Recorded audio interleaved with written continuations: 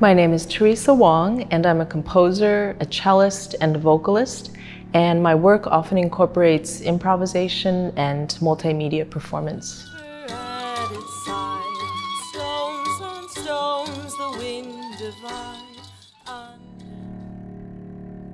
I've been involved with the Asian Art Museum to present three different performances over the summer, which will be inspired by artworks in the collection. I've been absorbing the collection and just taking in all the information and researching also, um, speaking to curators and different museum staff to learn about this vast collection and then taking that as inspiration to create three different kind of soundings or performances at the museum.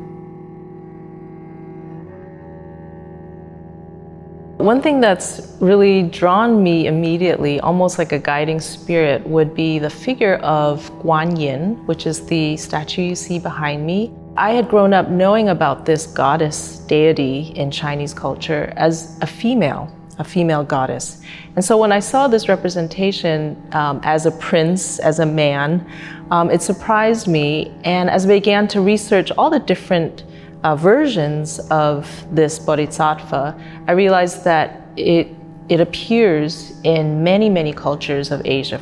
And it changes genders. And so I found that's really interesting how that changed throughout history. The other thing that I love about it is that the name Guanyin actually means the one who hears all the sounds of the world, which refers to the idea of hearing all the laments and the cries of the world.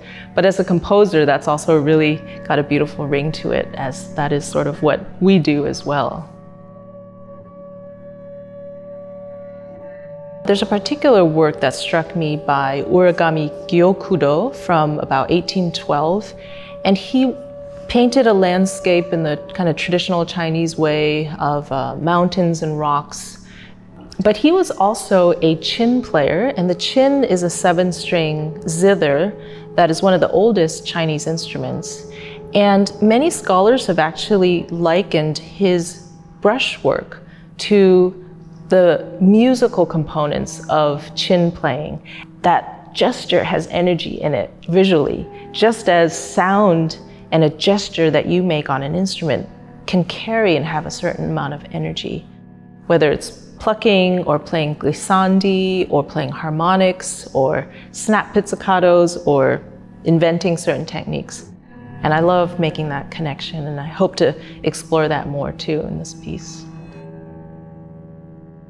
I've been really inspired by the work of Carlos Villa, whose work will be exhibited in the summer. He embraced this polycultural aspect of himself as, a as a Filipino artist and incorporating his, heritage, his own heritage into something very personal. I think there's something so special about seeing an artwork in person and to just sit with it. And you realize all the history that has come before us and how it shapes us as well. And so that is a very powerful thing that I hope more and more visitors can do. And um, I hope that my work can also perhaps open doors to other ways of seeing these pieces.